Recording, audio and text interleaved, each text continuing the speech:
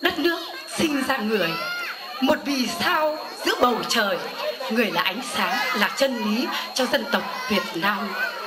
Chính nơi đây, nơi người yên nghỉ, cho chúng con hát mãi tên người, điệp khúc hồ chí minh.